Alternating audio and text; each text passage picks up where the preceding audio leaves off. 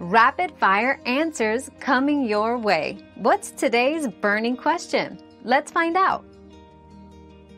120 eightieths of a millimeter Hg is often considered ideal blood pressure for many, but it may not be the best for everyone.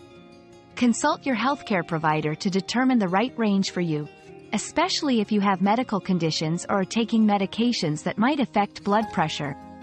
Individual health factors are crucial in assessing optimal blood pressure. Our quest for knowledge never ends. Thanks for being part of today's discovery. Subscribe, like, and share to join us on the next one.